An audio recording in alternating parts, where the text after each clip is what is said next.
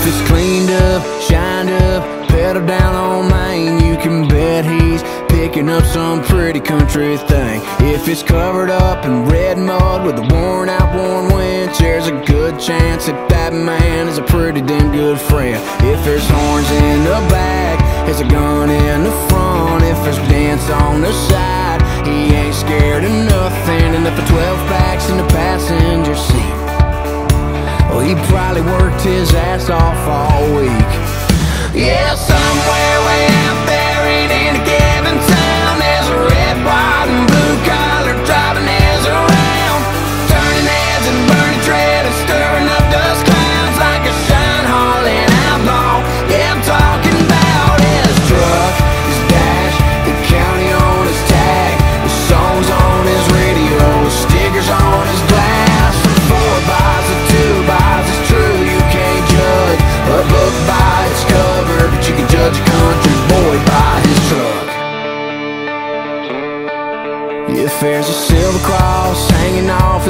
dusty old rear view, it's safe to say he's found amazing grace a time or two.